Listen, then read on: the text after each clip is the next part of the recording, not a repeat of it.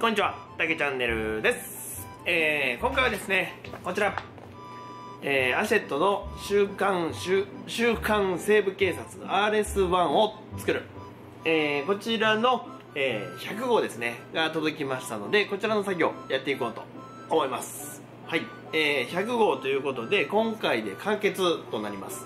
なので、えー今まで組んできたパーツを全て合体させて、えーモデルを完成させてギミックを確認するっていうところまで、えーやっていきますのでちょっと動画の時間長くなるかもしれないですけれども最後までお付き合いください。というわけでやっていきましょう。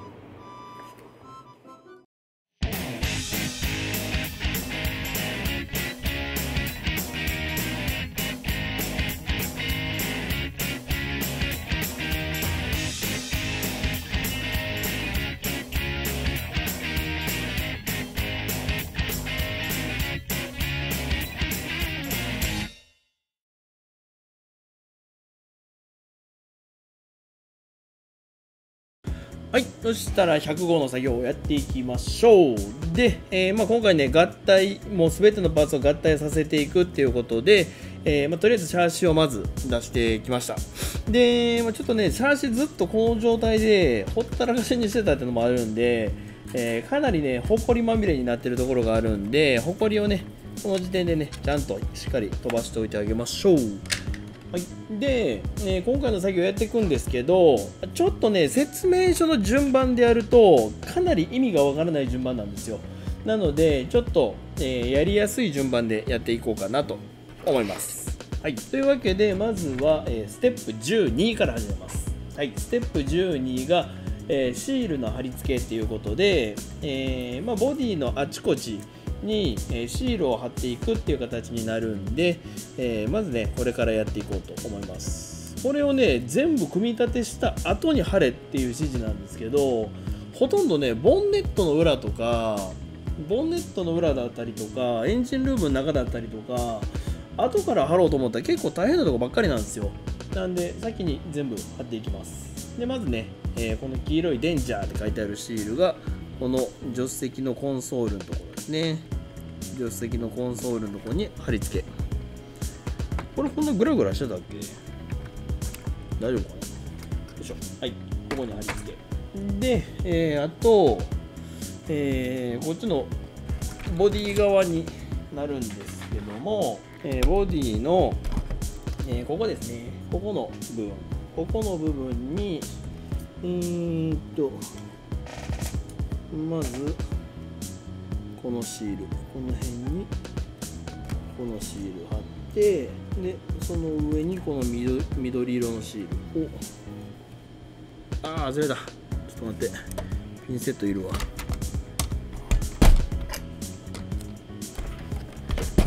よ素手で素手で貼ろうなんざ。虫が良すぎた。あよいしょ。これを緑のやつをここ。で次にえー、っとどれがどれだ？これがこれか、えーこのラジエーターの警告のシールがここかな。エンジンルームはこの3枚。であとえー、っとこのねこの OK って書いてあるシール。これ昔の車全部貼ってあるんですけどこれ何のシールなんでしたっけ？あんま覚えてないんだよな。これがね左のクォーターウィンドウにつきます。こんなんとかもボディとシャーシ合体させた後にねこんなとこ貼るってなったら結構大変なんでねここねここに貼るっていう感じなんでこんなんもね先に貼っといた方がいいと思います。であと、えー後ろのマットガードの位置に後ろのマットガードの位置にこのスカイラインって書いてあるこのシール。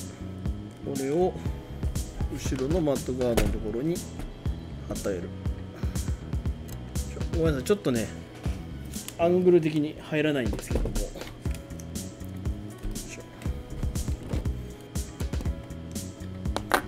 ここここね。ここ。ここに貼ってあげます。はい。で次に、えーボンネットの裏。ボンネットの裏にえー、っとまずこのエンジンの注意書きが書いてあるシールこれをここ。でえー、っとこの排出ガス規制適合って書いてあるこのシール。このシールをここ。これはねあのー、西部警察だからというわけではなくて普通にあの DR30 に貼ってあるシールですね。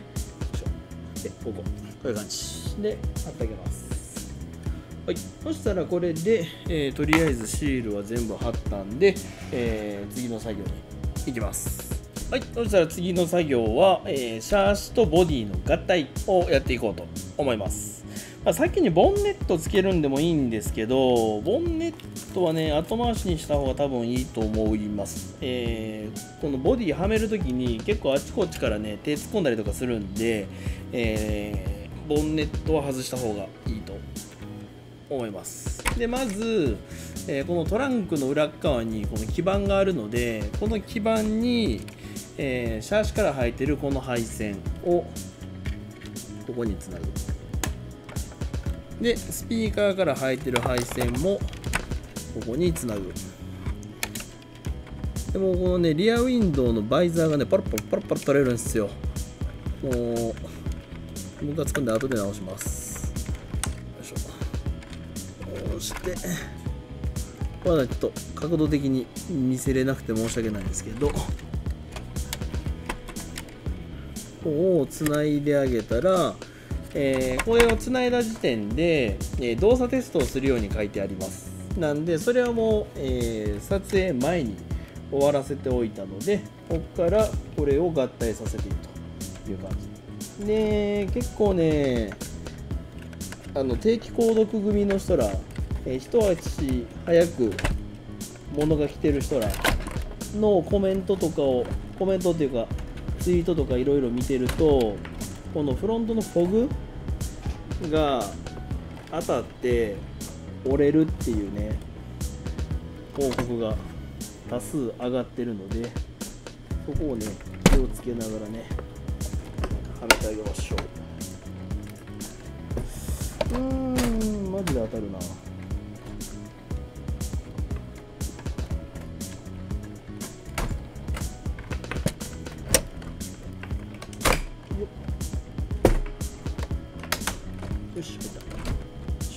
カバーが取れた。よいしょうまくね、かわしてあげると、スコッと入ってくれます。よいしょ。こういう感じ。で、えー、セットしてあげます。これの入ったかな？大丈夫かな？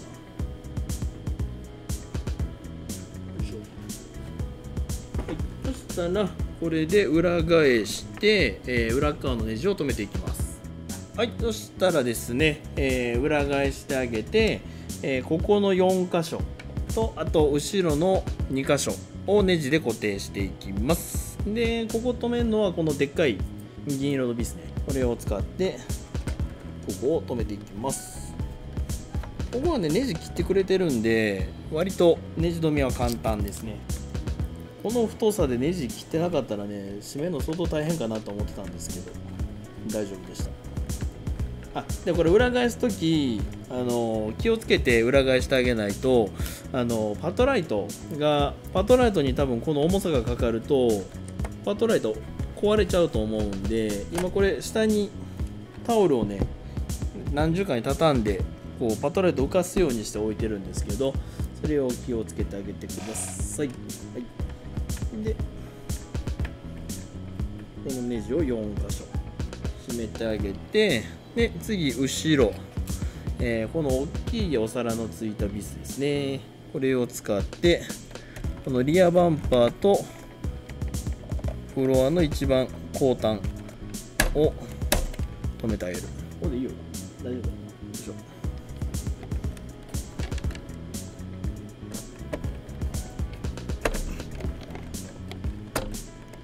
よいしょ。はい止めてあげます。そしたら、えー、後ろから、えー、このリアンダースポイラーリアンダースポイラーを取り付けるんですけど、えー、ここにセットして、えここのピンに差し込む形。ピンをダボに差し込む形でセットして、うん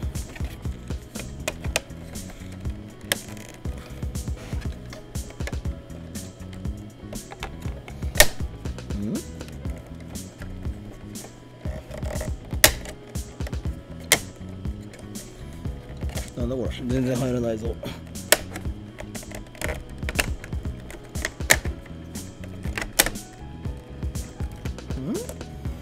ちょっと待ってよ。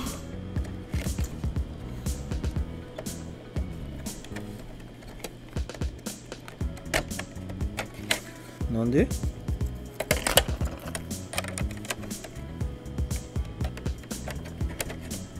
ょっと待ってくださいね。のよ隠れ的に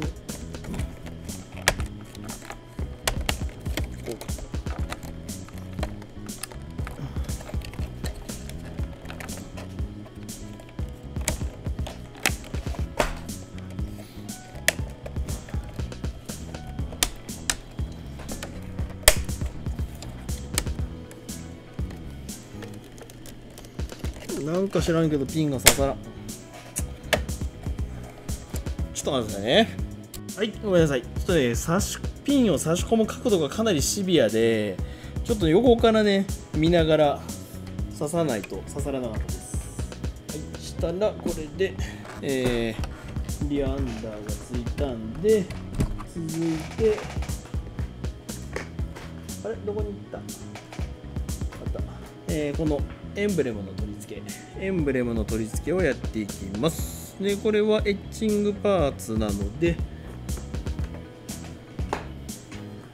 エッチングパーツをこう曲げないようにね切り離してあげて両面テープでくっつけると。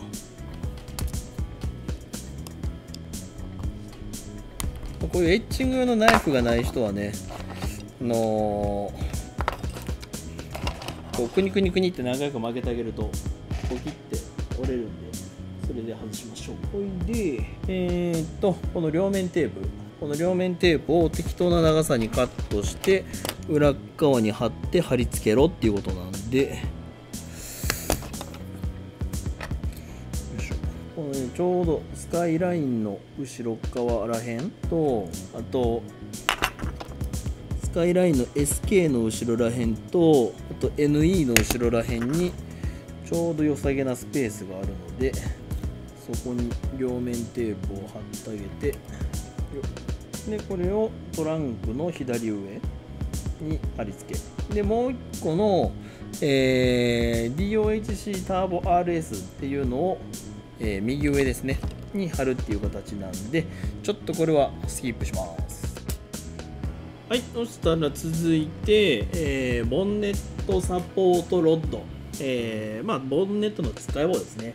使い棒を、えーセットするのでこれを、えーボンネットのここですね。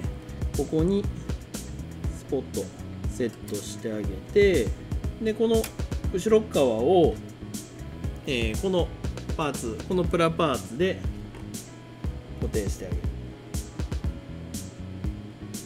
でこのゲートについてんの2つあるんですけど、えーこれの、えーただのドーナツ状のやつの方ですね。こっちを使ってあーっと落とした。あーどうした？もどうした？よし。これ。止めにくいぞ。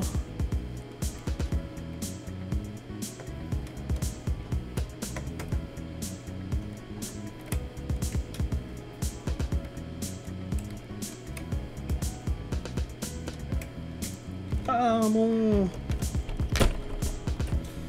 ちょっとこれかなり止めにくい。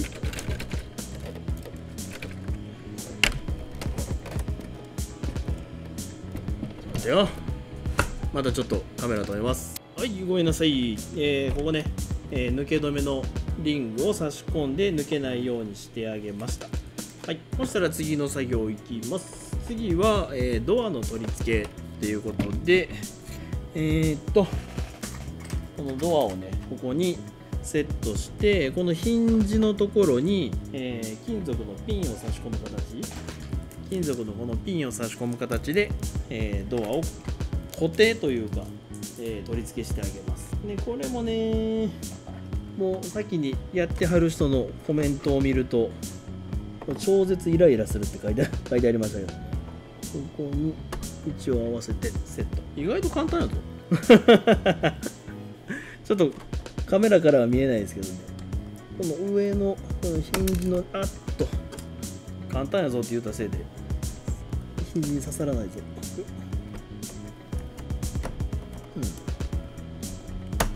うん。あっと。こ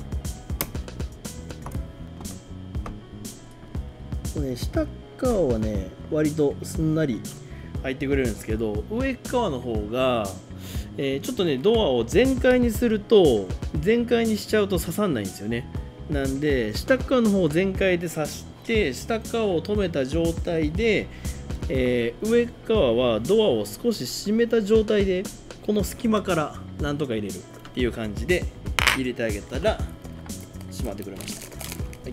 そしたらそうかこれも。はい。これで、えー、ドアの取り付けが左ドアの取り付けが完成したので次右ドア取り付けておきます。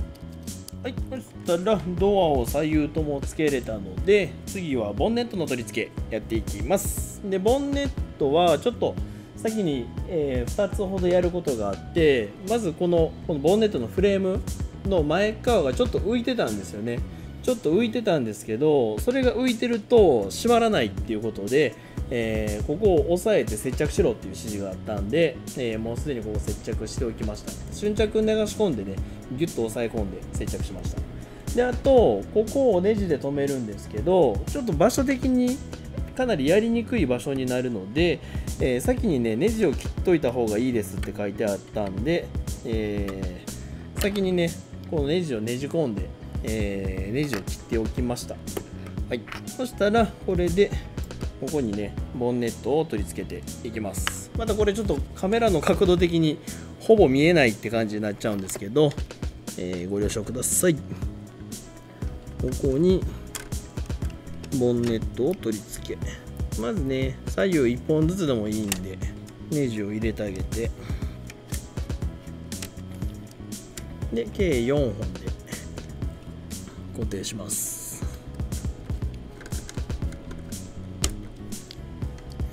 でこの時にネジ穴がちょっと遊びがあるんでこの締める位置まあこれ実写のボンネットもそうなんですけどこの遊びの範囲でそのボンネットとボディのチリっていうのを調整するっていう感じになるので、まあ、とりあえず一旦こうネジ全部締めたらボンネットを締めてあげる。でこう締めると今ボンネットがちょっと斜めにずれてるんですよね。なんでこういう時はまたもう一回緩めてでこうそっち方向。さっきの歪んでたのを直す方向にちょっと力を入れながらネジを締めると。どうだ？うん。いまいちですね。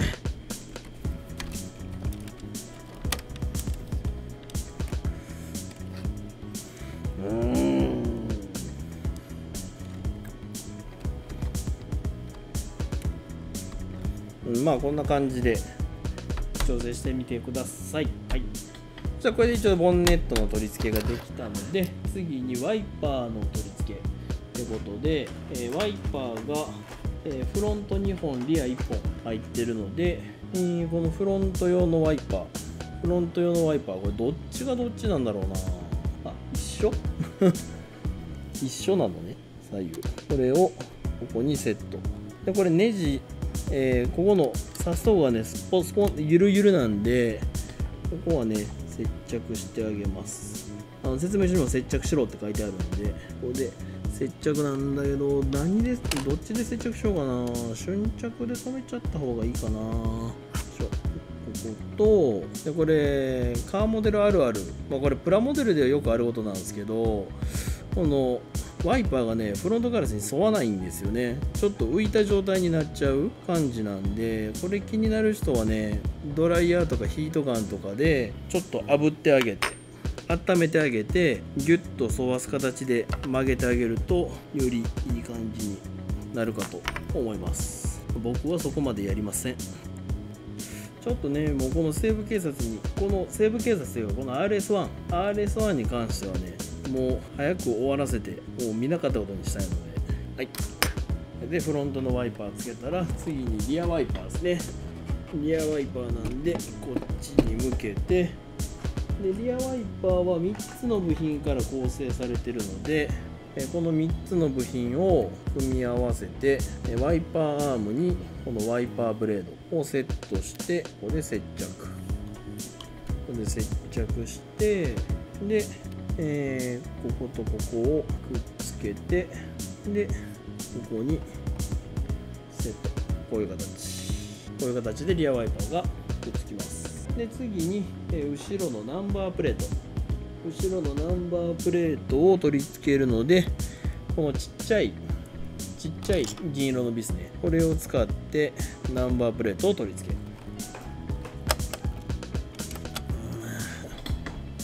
る。よいしょ。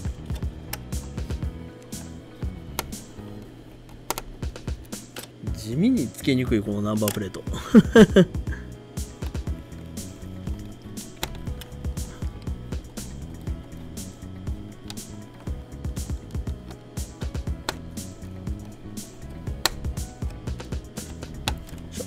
はい、ナンバープレートを取り付けたら次に、えー、パトランプですね。パトランプのカバーを取り付け。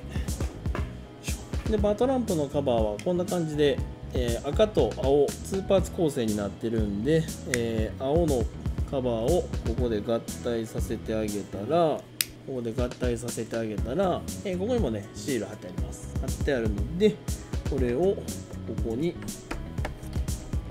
差し込む。結構硬いですねこれね。こんな感じで差し込んであげます。で次に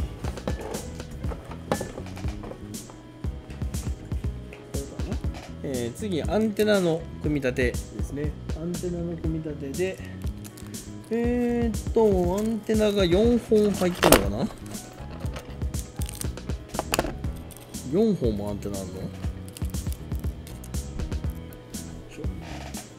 えー、っと、あれ ?2 本しかないですね。ちょっと待って。え、ちょっと待って。行方不明。ちょっと待ってくださいね。はい、ごめんなさい。ありました。えー、っと、4本あるので、その中の、えー、このパイプになってるやつ。パイプになってるやつを、えー、使って、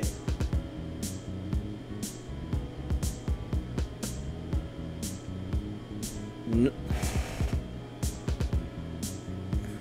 えー、ここにこのアンテナの基部のパーツにこれをセットこの上で瞬着やりたくな。い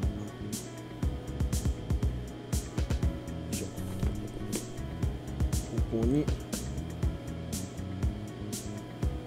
セットして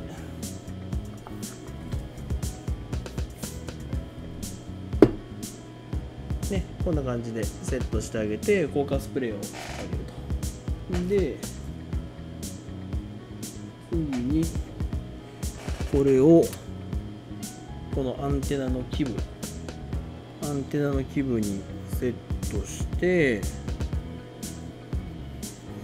でこのピンかな？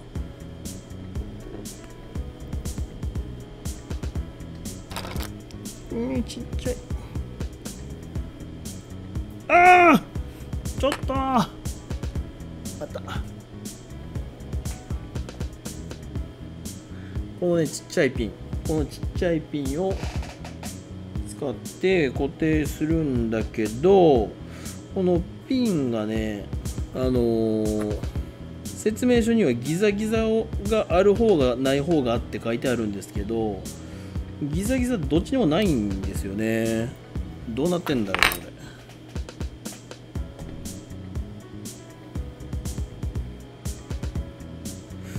れ。うん。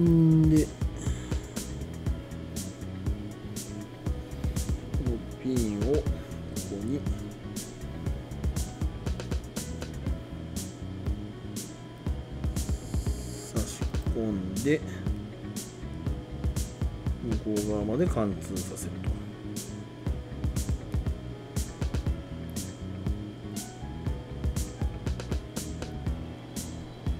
貫通するんですかこれは貫貫通する気がしないんです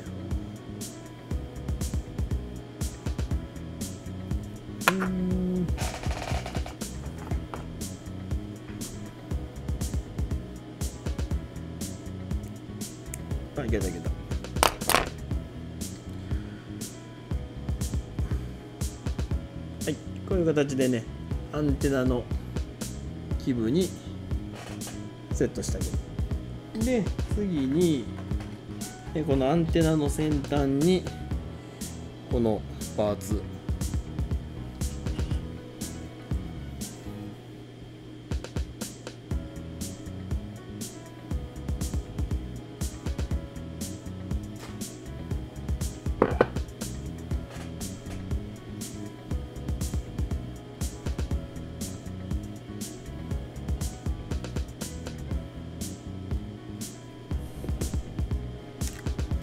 のアンテナの先端パーツを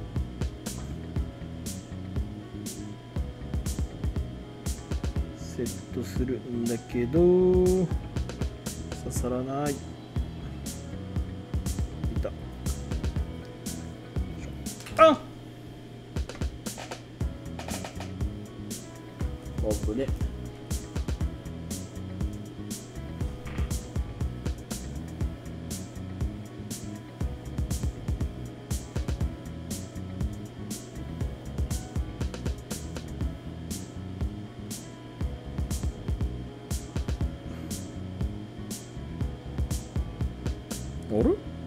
全然入らへんぞ。穴が明らかちっちゃい。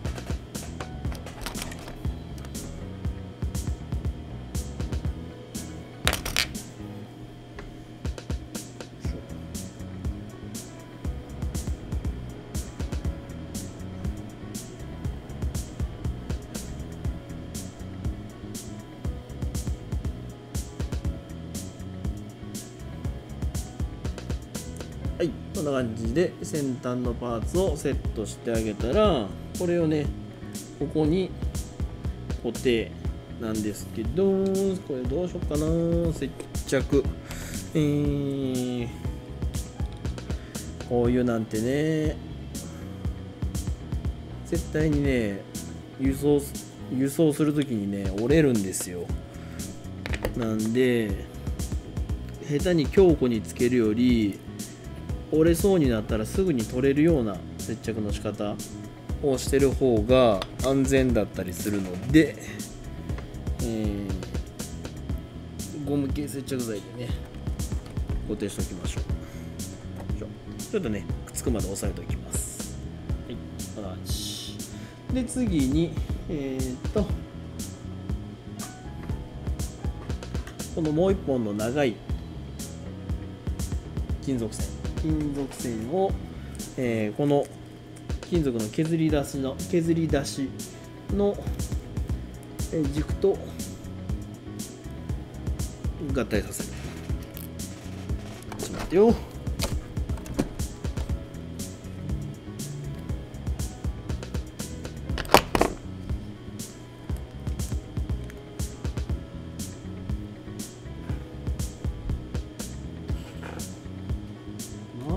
大変だぞこれ。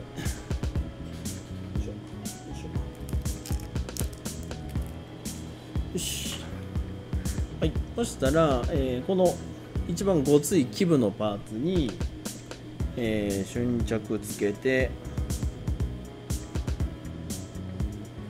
瞬着つけてでこの金属線を差し込む。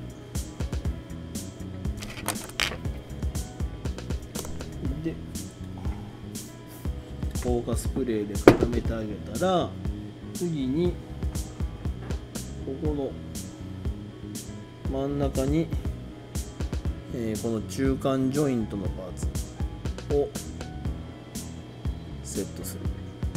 でこれはね片方が穴が大きくて片方が穴がちっちゃくなってるんで、えー穴が大きい方ですね。穴が大きい方に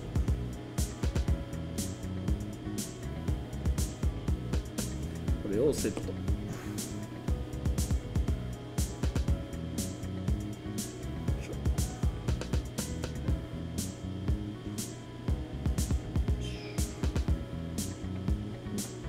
でで穴が小さい方にこの細い方細い、えー、長いアンテナ線を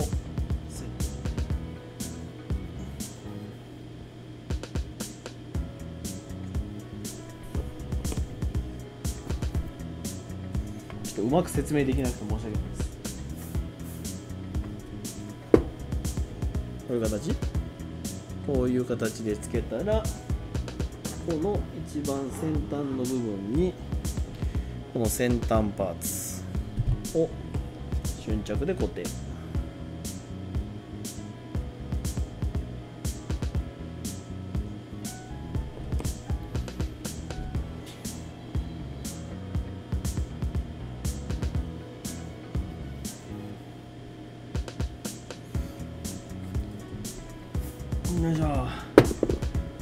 じこんな感じの長いアンテナができました。昔のね覆面とかってこういうねアンテナがドーンってついてたんですよね。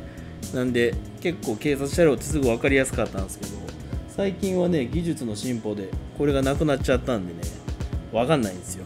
覆面なのかどうなのかね。はいそしたらあ分かったこれ。そういうことか。ごめんなさい。見誤ってました、えー、こっちのルーフの方につけたアンテナ。これパイプの中にこの短いの通すんですね。からこの細い方をここにつけるんだ。だから刺さなかった。刺さなかったんだ。おっと。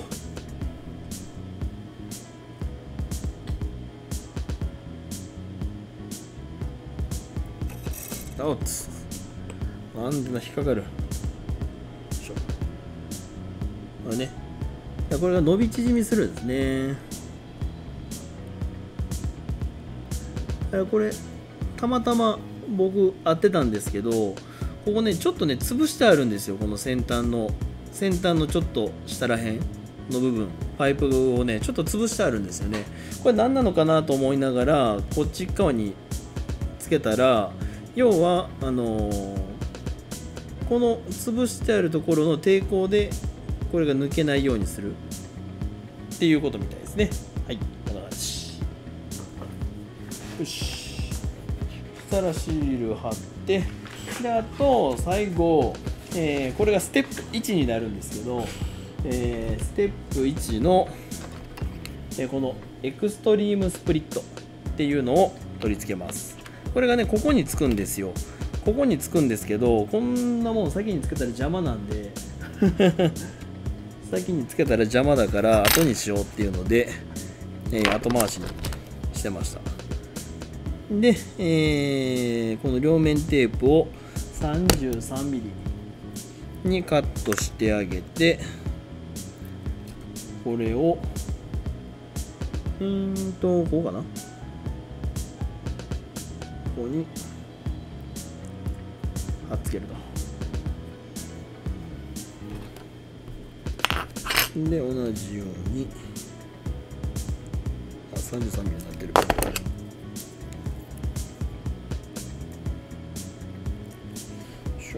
れもこっちに貼り付けて。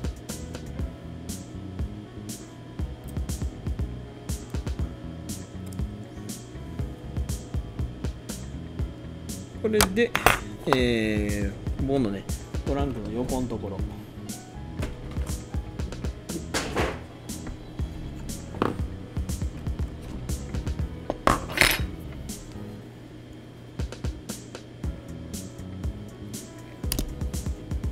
ここに、えー、ここの下の穴を決めてから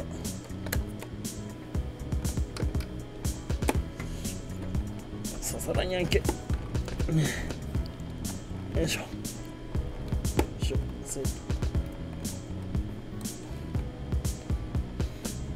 いしょ。こういう感じ。反対側も同じ。このアンテナ危ない。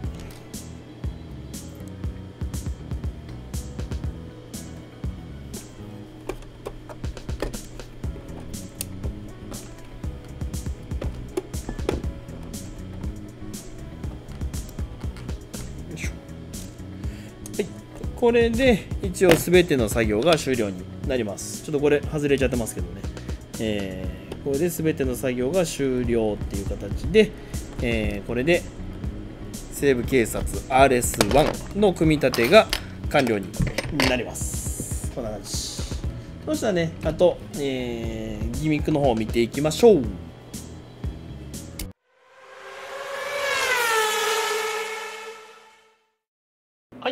では完成しましたので、えー、ギミック各ギミックを確認していこうと思います。はい。でまずはね開閉ギミックからやっていこうと思います。まあ開閉ギミックはもう普通にボンネットが開きます、えー、ドアが開きます。ドアが開きます。窓が開きます。でえーとあ後ろのトランクが開きます。っていう感じになります、はい、であと、まあ、ハテクを見ると、えー、9個も開くっていう感じになってるんですけども、まあ、それは後でまた見てもらいましょう。あ今見せちゃおうか。ねここの給油口もこういう感じで開くようになってます。はい、たらね、えー、これが、えー、一応開閉ギミック。一応ここのマシンガンも開くんですけどそれはどっちかというと、えー、伝送ギミックの方なので、えー、行いましょう、はい、そしたら次に、えー、伝送ギミックの確認をしていこうと思います。はい、でまずは、えトランク開けてあげて、えトランクの中に入っているバッテリーボックスの電源を入れてあげる。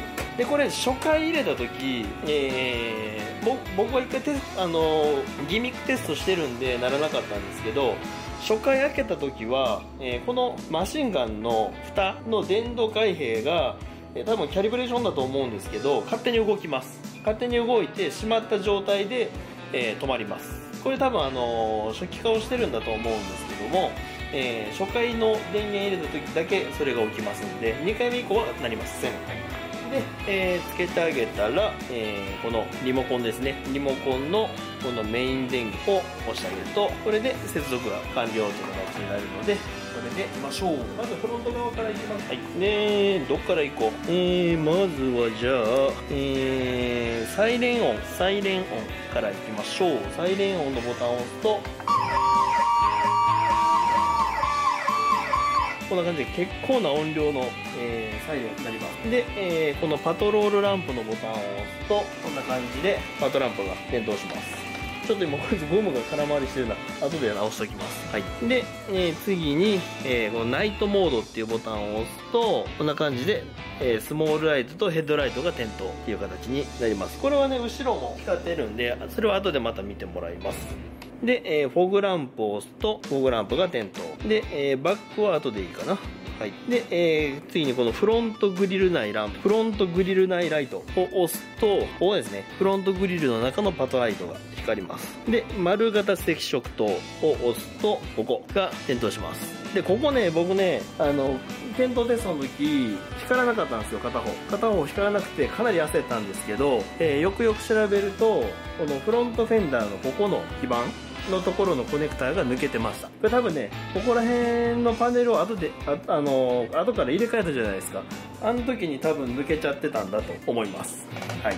なんでそれをさしたら、ね、無事ついてくれます、はい、で、えー、次にこのハザードを押すとハザードが点灯。ウィンカーリレーの音でかすぎんっていう気がせんでもないですけどもこんな感じで、えー、光ででこのウインカーボタン。ウインカーが左オフ右ってあるので左の方にしてあげると左ウインカー。右にしてあげると右ウインカー。っていう感じになります。ウインカーはねこことここ。であとリアが点灯するという感じになります、はい、で、えー、あと、えー、コンソールはちょっと後で見た方がいいかな。でクラクションを押すと押してるだけクラクションっていう感じになります。であとここにエンジンのオフエンジンオン走行ダイヤルがあってその横にアフターバーナーってあるんですけどこれでエンジンをオンにするとアイドリエンジンをかけてアイドリング音が鳴ります。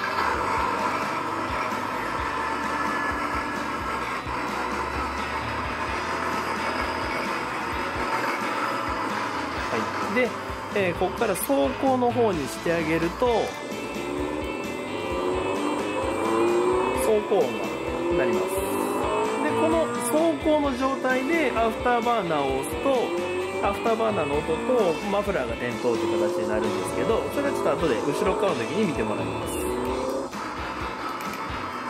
でオフにするとストップという感じになります。はい。そしたらちょっと向きを変えて、えー、再度見てもらいます。はい。そしたら次は、えー、まず内装の方からね見ていこうかなと思うんですけど内装がね一応こんな感じになってて、えー、コンソールっていうボタンを押すとねこんな感じ。かなり賑やかな感じになりますけどもこんな感じで点灯します。でこの左下のとこはねあーちょっとピントがピントが合わないよ。この左下のとこはねこんな感じでこう点滅を繰り返すっていう感じになってます。はい。であと、えーまあ、ちょっと見にくいんですけど、えー、このこのルームランプこのルームランプがドアの開閉に応じてついたり消えたりするっていう感じになります。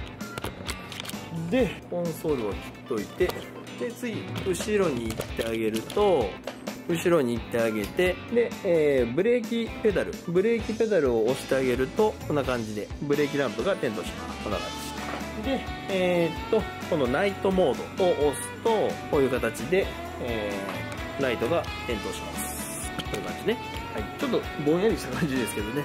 こんな感じでつくのとあとここのナンバートーンも点灯してます。こんな感じでこの状態でもブレーキを踏むとこういう感じになります。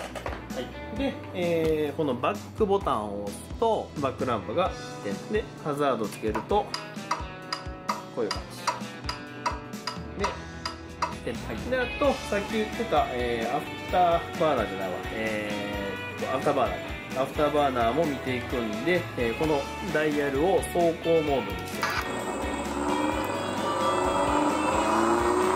行モードにしてあげてでこの状態でアフターバーナーのボタンを押すと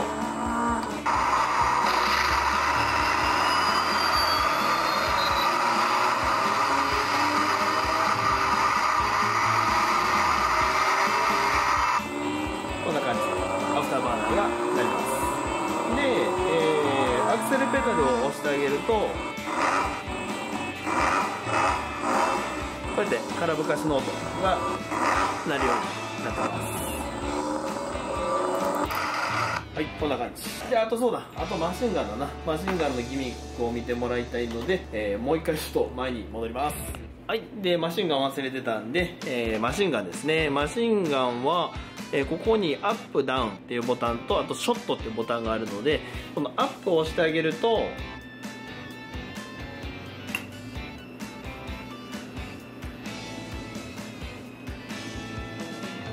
めっちゃゆっくり開き あくまでの間に犯人逃げてしまうんじゃないかっていう感じも、えー、めっちゃゆっくり開いてでショットを押してあげると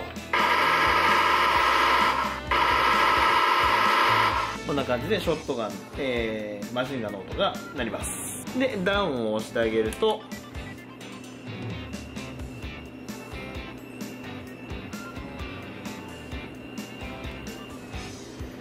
はい下がってくれはい、これあの僕組んでた時はねここが閉まんなかったんで大丈夫かって言って言ってたんですけど一応ねこうやってきっちりきれいに閉まってくれるんで、はい、そしたら、えー、ちょっと電源切っといて切り忘れるんでね電源切っておいてこれで一応、えー、全てのギミックの確認が、えー、終了いたしました、まあ、あとまあこのハンドルをね切ってあげると、えー、タイヤを左右に切ってあげるとハンドルが連動して動くとかそういう細かいギミックもあるのも、えー、こんな感じになります。はい。というわけで一応これで、えー、100号、えー、西部警察、えー、RS1 が100号全て完了っていう形になります。えー、まあ大体2年ぐらいですねいつものように2年ぐらいかかりましたけれどもえー、とりあえず完成してすべてのギミックが稼働するっていうのも確認できたので、えー、これにて一件落着という形になります。はい。で、これでやっとね、西部警察終わったと思ったら、えー、来週からはスーパー Z